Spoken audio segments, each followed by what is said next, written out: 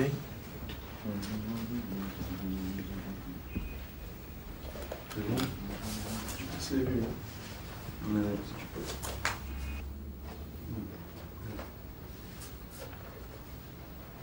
Okay. Uh, so uh, the album's called The Magic and the Loss. What's the connection that you make between both of those terms?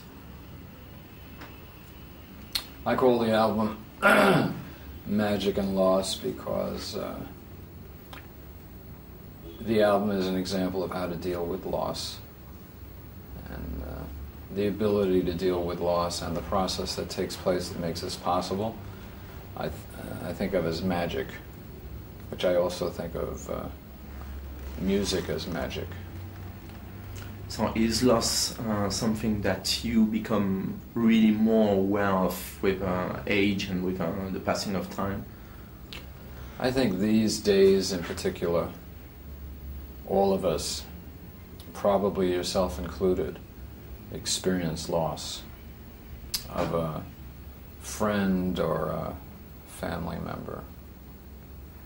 Isn't that true?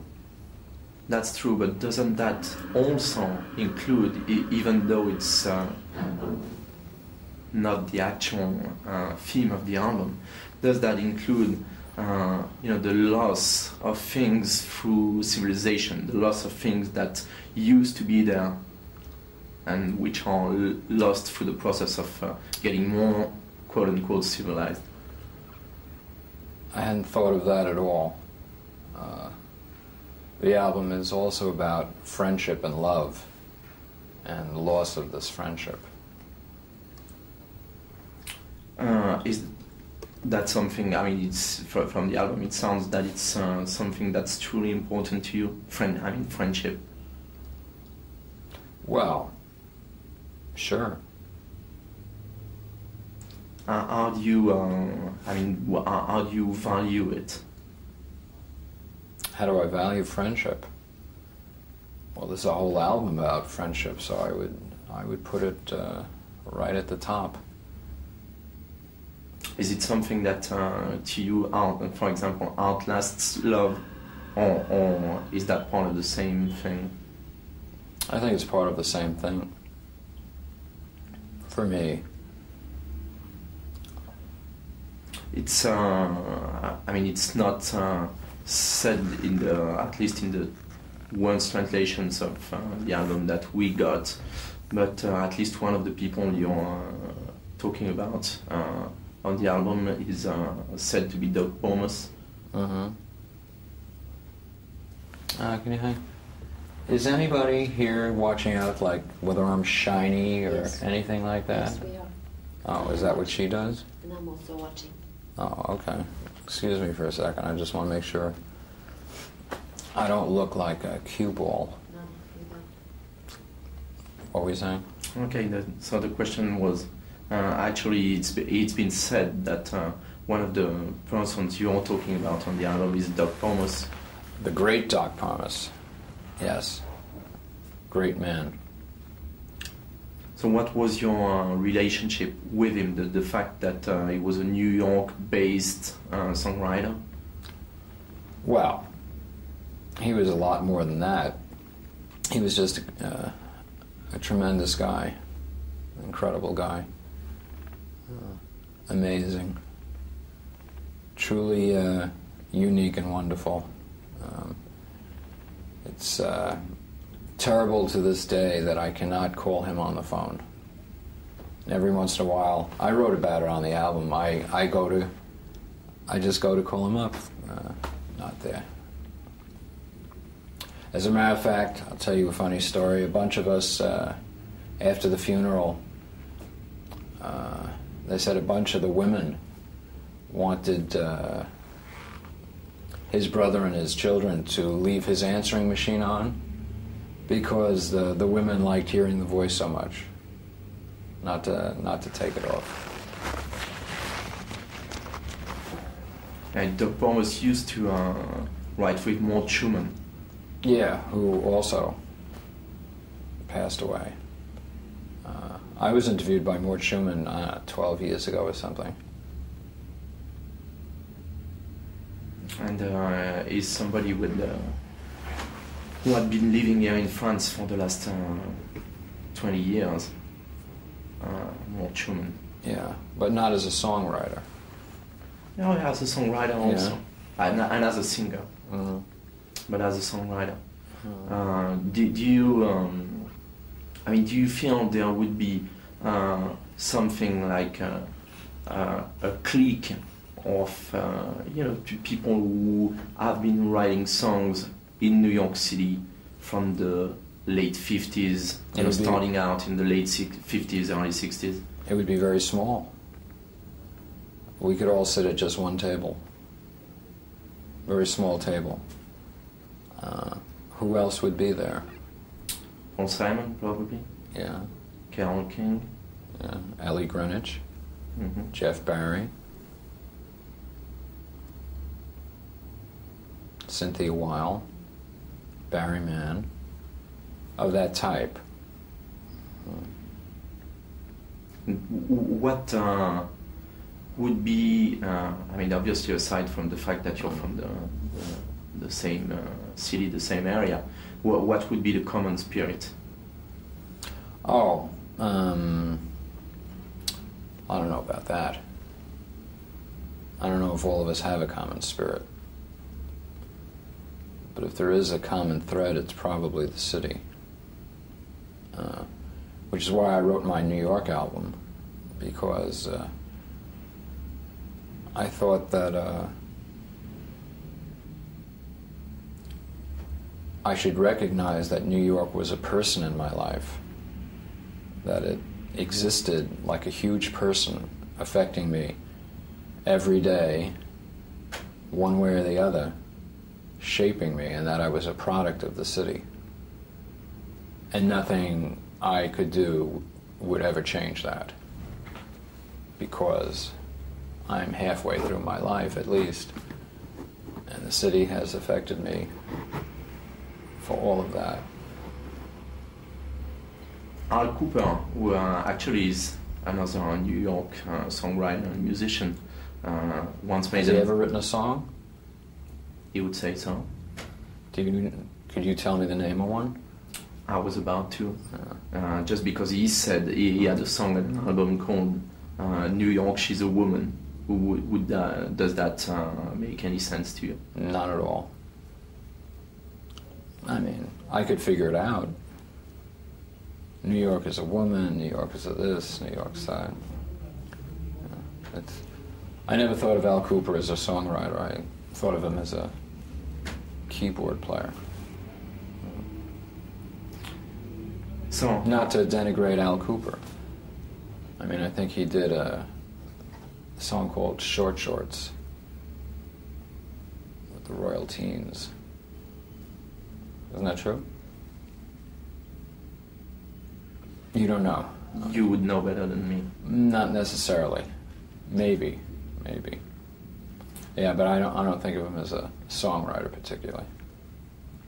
Do, you feel that uh, there is? I mean, it seems from the just from the outside, it seems that uh, there actually is a, a, a thread, or at least a, you know, a line that you've been uh, pursuing, or that's been guiding you uh, from maybe from further on up, but at least from the New York album through uh, songs for Drella and now to the new album. I mean, it seems that it's like uh, refining, uh, uh, you know, so some kind of uh, way of writing and uh, storytelling. I think from the very first album, there has been a stylistic thread, but it becomes particularly apparent and effective, I think, starting with the New York album, then Songs for Drella, and right now, I think in a quantum leap, for me personally, stylistically uh, and technically, uh, Magic and Loss. I feel a, a real advance Yeah, so do you- personally. Did, did you? I mean, do you actually uh, can see yourself, you know, getting better? I better be getting better. I think that uh, certainly for me, um, the more I practice something, I get better at it. And I've been practicing a number of things for a while now. And I, th- I think I've gotten better. So I don't know if other people do, but I think I have. I just told you so. Uh, so that makes two of us. At, Well, at the least very two of least. us. At the very least. At least two of us. uh, so th- does Thank God for that. th- does that um, I mean th- th- does that uh, mm, fact uh, makes it uh, more let's say uh, evident that uh, this should be uh, the time where you decide to uh, publish an actual book of uh, your writing over the years. That was a fortuitous thing that occurred. It's something I would have liked to have done for quite a while. I was never asked. But when I was asked, the person who asked me when we discussed the book, uh, the kind of book they were interested in was the kind of book I was interested in doing, which was more than just a compilation, and it was not, uh, you know, with pictures in it. And, toys and autographs. It was a real book, a real collection of of the lyrics that would form a narrative and propel you like from the 60s, 70s, 80s right up to the 1990s. Yeah. On, in that book, you decided to. We're looking for a publisher in France, by the way. Uh, I might add, do you think we could do this without anyone using the bathroom? It's not. Uh, It's not our it's not our room that's doing we it. checked. It's upstairs. Oh, okay. There's no Because you should charge money. They're going to do that. Uh, I guess getting uh, by the way is, should be quite easy to find a publisher in France. Uh, the interesting one of the interesting things is that We have we have a publisher in Germany. can somebody shoot the guy? Very persistent.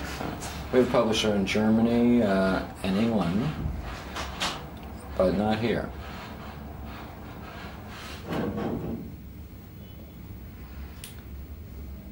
An interesting thing is that uh, you decided to include uh, two journalistic pieces uh, that you did. One with uh, Václav Havel, who's long been a fan of yours, and uh, one with uh, Hubert Selby, uh, who obviously is somebody who uh, has at least a, a kinship of uh, interest uh, as far as the subject matters uh, is involved. Well, uh, I did these interviews because it was an opportunity to meet two people that I really admired Hubert Selby and Václav Havel. Um, and it was great to meet them, uh, interview them. Very nerve wracking to be an interviewer. It's not something I would want to make a habit out of, it's much too difficult. Gave me new respect for the journalist having to go through that. But it was, uh, I did get to meet these people, and uh, and I wasn't disappointed. Uh, of course, I was interested in uh, things about writing, learning more about writing. Uh, so a lot of my questions were oriented around that subject. Obviously both of them are writers. One of them has been uh, taken to a situation which he probably didn't think would occur in his lifetime, given the, the country he was living in. Um, why uh, do you think, or uh, you know, what uh, comes to your mind when you see that uh, people in the eastern countries and particularly Czechoslovakia, seem not to be fascinated with the, let's say, uh, Bush uh, or Reagan side of the United States, but the very non-official once underground part of the state. Well, it's interesting to see in Czechoslovakia just how much songs meant to them because uh, certainly my songs are implicitly about freedom of expression, and at least that. And that's the way they were taken over there, and they had such incredible repression there that something about freedom of expression really meant a lot to them. And so they're very receptive to something like that. They certainly wouldn't be receptive to the repressive, regressive policies of Reagan Bush. You, you've been involved uh, in those last few years uh, with uh, Amnesty International, with Greenpeace, with uh, Farm Aid. Uh, how, how much do you truly think that uh, an artist can make outside of his own work, I mean, actual work, either writing or, or records or whatever, can truly contribute, you know, to uh, these type of causes? Well, I always think each to their own. I think every person could pick if they find all of this confusing, so many so many benefits, so many causes, so many organizations, it's like so impossible. Which which one is for you? Then, uh, so you pick just one, just one, and you only operate for that one. I say as a private person, you could just pick one, and that would be enough. In my situation, because I'm a celebrity, at least it's an opportunity to use the celebrity for something. It must be good for something. I can't imagine what, but here's here's something in fact that the celebrity is useful for. It attracts attention to causes that uh, that it is good that it's good to have attention drawn to. So that's why I do that. And do you? Um, I mean, a celebrity has to be good for something more than getting a good table in a restaurant quickly. You know, if they're going to write about you anyway, if oh, what did you do? Then you say, well, I did this. We're over here. Do you feel this is uh, something that uh, you owe to yourself, or that you actually owe to, uh, well, basically the general public audience?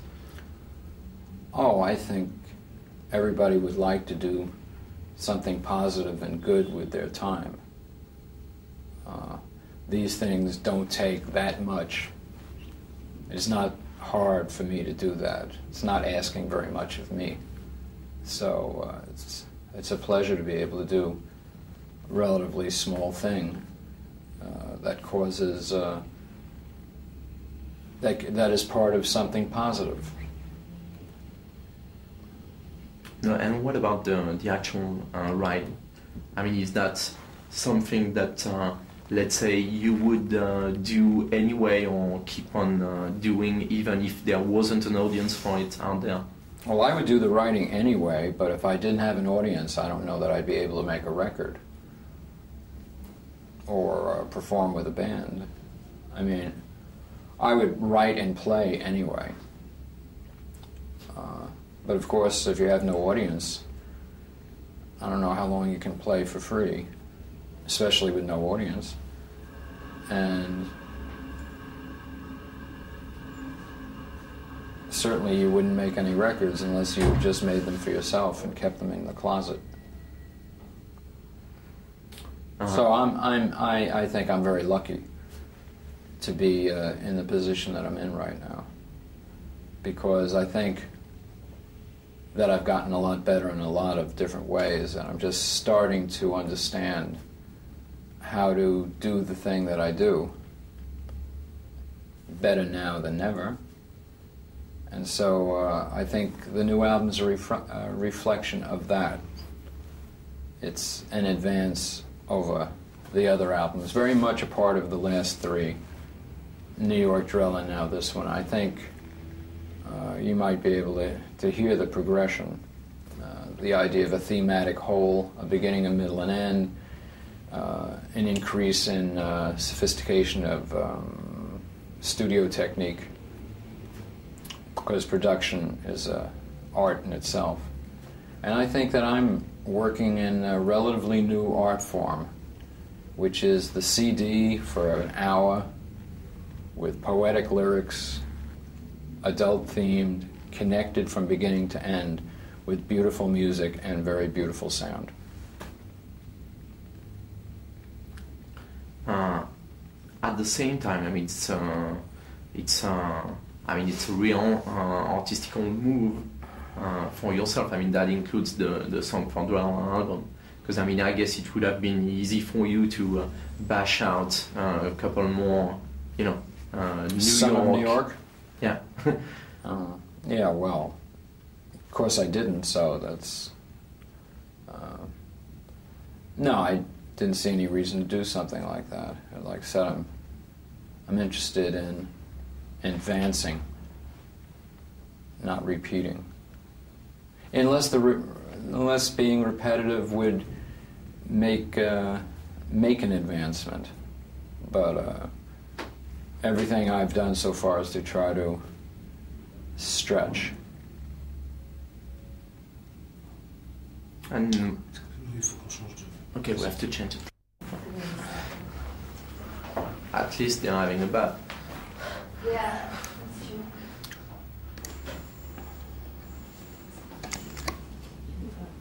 Okay.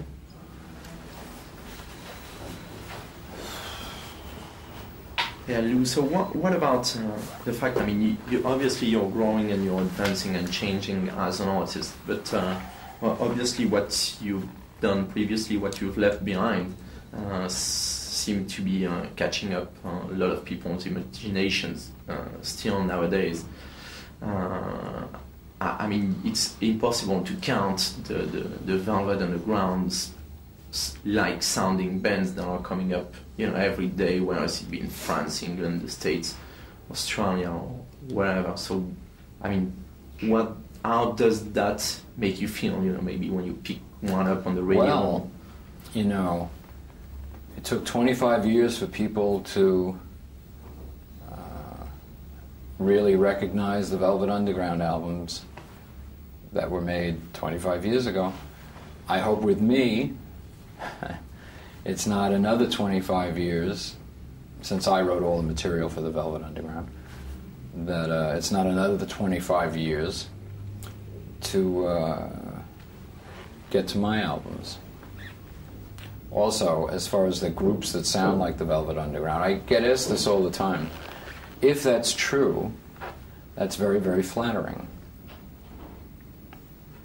Yes, some uh, people seem to be uh, coming up the years because now there's a, you, you get a Walk on the Wild Side cover every week. And sometimes they're big hits. Uh, Marky Marks, Walk on the Wild Side, is a much bigger hit. Whoop, whoop, whoop. Sorry about that. Won't do that again. Is a much bigger hit than My Wild Side ever was. Uh, with the Walk on the Wild Sides that are out, um, the, that are sampled, uh, they have to come to me for permission, or else I sue them. There's so many; it's very, very difficult to uh, control it. But uh, the Marky Mark one was one that I liked, and so I said, "Yeah, you could do this." I kind of like uh, all these young kids running around sampling things. I, I think there's all these interesting things they can do with it, and it's kind of fun. Would you do it? I mean, if you, if you were starting out nowadays, is that the way you would go at music? Oh, I don't know. I mean, I'm a guitar player. You know, I would. Uh, I don't know if it's the kind of thing I would be involved in, but I think the way some people use it as a tool is really fun. As long as they credit the people that they take it from and do it with their permission. I think it's very important that they credit the person they're uh, sampling. Well, you But probably. it's a great way for like kids to put together whole little productions just out of sampling. Well, with a tribe called Quest, you probably Ah, there taught was a few of them a lesson, Yeah, or at least a business lesson. a tribe called. Hmm. At least a business lesson. Well, uh, without getting into any of that, uh, Tribe Called Quest comes out is out of New York. I think they're one of the better ones. Uh, but as I say, sampling they have to give you credit. They can't just uh, sample you and walk away. The, the, uh, w- one of the uh, interesting things is that it's uh, becoming more and more clear uh, now to, to people who are watching your work uh, that actually, even though you're very much of a guitar player and uh, uh, from the rock era, uh, you also seem more and more to belong to kind of that tradition of American writer that can go uh, much further up uh, the, the century, but uh, that includes people who were, uh, you know, writing and performing their own writings or their poetry, like the, the beat poets, for example. Is this in the tradition of that? Is that what you? Yeah, or do you, do you feel there's any connection just because I, I'm thinking about that obviously because of the book and also the fact that you've been lecture, I mean that you- you've been reading. Uh, Oh, I've been doing uh, an hour and a half performance readings from the book. It's very, uh, it's been fabulous, really great, very interesting to interact with the audience in that way. So I suppose it would be possible to see how it goes back to a tradition uh, that you might be talking about the poets reading in the 50s. Um, my point is that for my songs, I try to have lyrics that are poetry in the first place and can stand alone from the music. The book is a demonstration of that principle. So, uh, but uh, it is great to combine the whole thing sound, because I love sound so much. S- sound and the words together. And then it is also interesting to suddenly to drop the music. Sometimes uh, what I noticed is some of the lyrics are much funnier, but also some of the lyrics are much much harsher.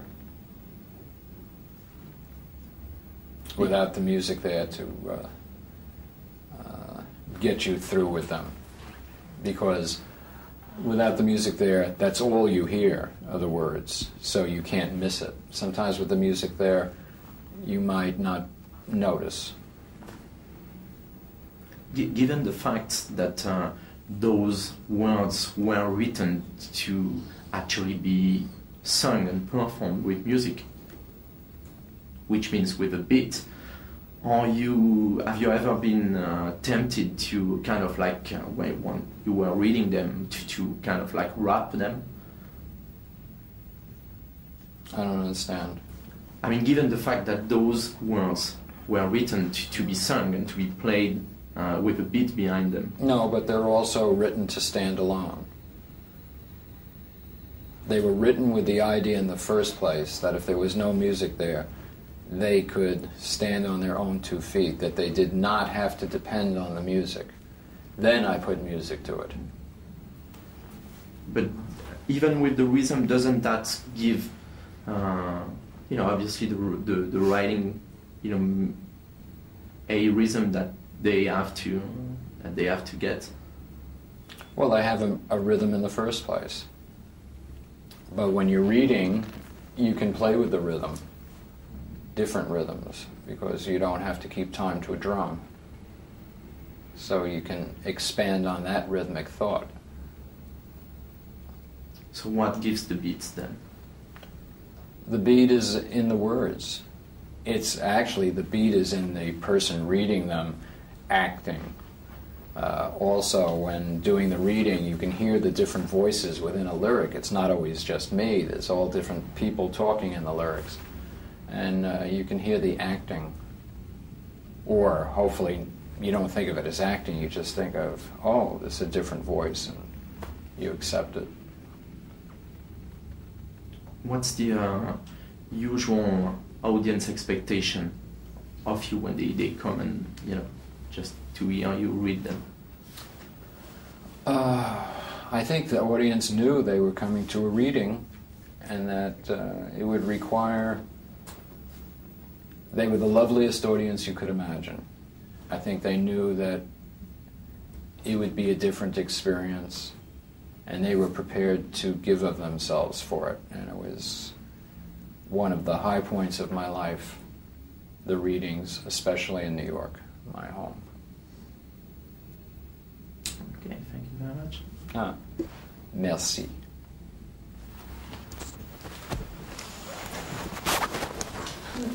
Can you move the light in so that I can close the door, please? Thanks. I'm just asking to move the light in so I can close the door.